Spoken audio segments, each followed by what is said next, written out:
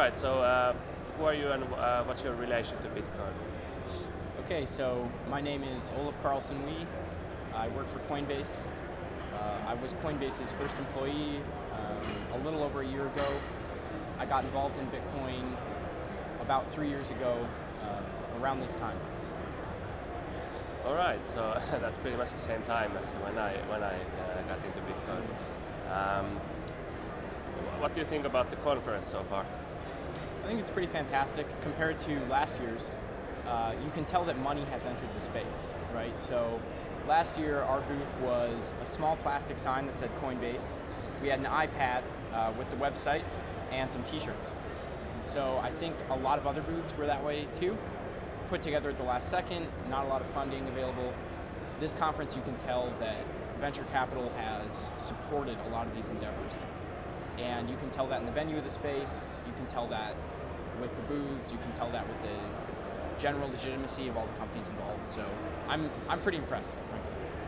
Okay, um, I'm curious that because you, you said that you got into Bitcoin uh, three years ago.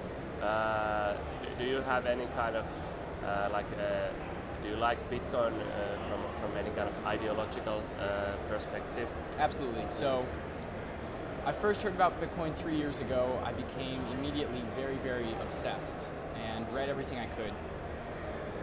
I was going into my senior year of college and I decided to write my undergraduate thesis on Bitcoin. So for about a year there, I was researching Bitcoin and writing about it obsessively. Uh, this was around the time the price was dropping from 30 down to $2, and everyone kind of thought this was just a dud experiment. I was still really intrigued by it, even if that was true. I knew some sort of cryptocurrency was going to change the world, whether it was Bitcoin or a future iteration. So I just kept kept at my research and kept reading about it. Then I um, I basically decided, you know, I, I don't want to take an academic interest in this. I actually want to delve in and make this happen. So I, you know, searched the space for good companies, and I think Coinbase had the same vision as I did, uh, which was very, very, very long term also, you know, recognizing that this isn't this isn't a short-term win. This is actually a long-term win as far as um, payments. So, for me, any anything that costs money to move money is just a net loss for all of society. If I'm trying to exchange with you A to B, anything that prohibits us from exchanging that wealth transfer is just a net loss. It's just an inefficiency for everyone. So being able to reduce that to zero for everyone in the entire world, I think has huge macroeconomic effects if you can imagine just 3% back into the entire economy, basically. On top of that, I think that the traditional um, banking sector, uh, you know, I, I entered college at, in the wake of the American and kind of worldwide financial crisis in 2008, and I think a lot of people were somewhat disillusioned with uh, the way banking works in general, right? So, you know, investment banks, you know, use user deposits in order to kind of fund high risk investments. And you know, when they fail at that, they're not treated fairly like a normal business. Uh, they're actually just bailed out by the government. So I, I, think that a lot of people saw that and recognized that our whole monetary system is like pseudo-private. Um, the Federal Reserve is a private entity. Um, the International Monetary Fund, you know, definitely has ties to government and everything. So I, I think that monetary policy um, as it said, is you know can can you know be be led by people who have kind of interests, right? Not necessarily the interests of um, the people in general. So Bitcoin purely democratic, right? So the network chooses 51%.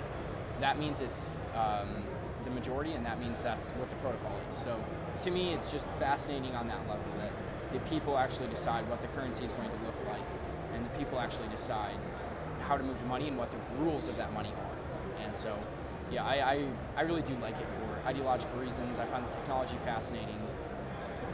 I find the business aspect fascinating, and it's amazing to, you know, scale a company while you're taking on some of the largest players in the world, right? Payment processors and banks. And, um, you know, that's that's basically a list of the Fortune 500 companies in a way. So, yeah, it's it's exciting, and I I'm really really into it.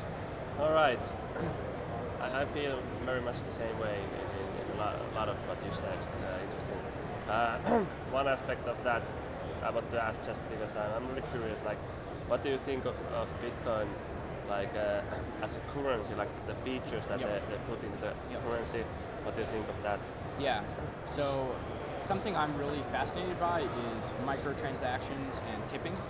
So, you know, with without Bitcoin, whenever you were going to do a transaction that was between two geographically disparate locations, so over the internet or over uh, you know wire or through the mail, there was always kind of a minimum threshold for the amount you could do. Um, you can't really purchase anything for less than 99 cents online, uh, and even then, 30 cents of that is going as a transaction fee to the payment processor. On top of that, you know, it, it, it inhibits international commerce, it inhibits um, remittances, right? So people want to work in one country but send money to another country to support their family, say. I think that all of our current payment infrastructure isn't very nice to that stuff. Um, you know, very, very high fees, very slow transfers, currency conversion rates aren't always optimal, right? So I see a kind of decentralized tipping or decentralized microtransaction ecosystem growing very quickly surrounding Bitcoin. So I find it fascinating that I can send 15 cents from here in Amsterdam to China or India or America um, for free, and it can be 15 cents or it can be a million dollars, and it's, it's the same, right? So for me, I, I see it opening up a whole world of kind of, you know, in-game commerce, for example, like I'm playing a video game and I want to buy a new sword, right? But I only want to pay five cents, so I just tap the screen. It's, it's all in the background, it's all done. So in that way, you can visualize payments being made invisible, right? So these kind of microtransactions to use the internet could fuel a whole new system of uh, monetization. So I hate ads on the internet. I think everyone does. I've never clicked one. I've never purchased a product. It's just a waste of my time. Um, I would much rather pay five cents for a service than have ads on that service. So you can imagine a world in which using a website, um, small payments on the Bitcoin network are built into sort of the HTTP pro protocol, for example. Um, and in that way, you could pay very, very small fees for every time you use the internet, every time you send an email. This would prevent spam, it would eliminate the need for advertising, and potentially open up whole new areas of the economy that we can't really imagine right now. Uh, you can sit around trying to think of the Twitters and Facebooks that will be the killer apps of the blockchain all day. Mm-hmm. I know in my gut they're there. It's it's hard to see what they will be, but I, th I think we've got a lot of work to go to do, and we will get there eventually. Yeah. Uh, um, how do how do you see like the yeah uh, any comment on like like what's the what's the roadmap or like the to, to, to getting Bitcoin more mainstream? Yeah, great question. So for me, it's um, it's a network effect. So much like you can imagine Facebook, uh, it makes sense for all your friends and you to be on the same social network if I'm on a different social network than you are, um, we can't connect as well. So with, with money, there's this network effect is even stronger. You all want to be on that same currency, right? So Bitcoin is facing this chicken egg problem right now where uh, consumers are buying it and merchants are accepting it. But it's, it's still very, very uh, niche, right? Not widespread. And with these merchants, you know, that we might talk to, a lot of time they say, you know, why would I accept this if no one has Bitcoin or no one spends Bitcoin? And with people that want to buy Bitcoin, they say, why, why would I buy Bitcoin if I can't spend it at any merchants, right? So this is kind of one of these back and forth problems. I see the a great analogy being the internet, the early internet. So you look at 1994. Why would I host a website? Why would I, you know, pay for server space, hire a software engineer to build my website if no one uses the internet? Okay. At, on the flip side of that, why, why would I pay 50 bucks a month and buy a computer, home computer, connect to the internet on this crappy broadband or whatever, in order to visit all these websites that I have no need for, and no one has a website, right? So it's this very same chicken egg effect where in order to build the network, you need to build both sides simultaneously. And both sides don't want to join until the other side has been built up. So long story short, I think what we need to do is you, you need to target the supply side and the demand side. That is, you need to target the merchants and you know payment acceptors of Bitcoin, and you need to target the users and payment buyers of Bitcoin. Um, so what, what this means really is creating killer apps for people to want Bitcoin. So for example, remittances I think is going to be a huge killer app in the near future. I think micropayments is another killer app. Um, high risk markets because the irreversible nature, another kind of killer app for Bitcoin. So I, I, see those being like the first early adopters in the next year or so. Uh, from there, you know, those users of those services are going to have a very strong incentive to purchase and use Bitcoin. Um, and so, so you see these kind of niche markets being filled where it makes sense on this network effect, even though it's still very early in the game. Um, and, and over time, the use case will become more and more and more compelling as more and more of the network joins, right? So once you get 51% of people using Bitcoin, all of a sudden, like the, the latter 49% are just going to pile on.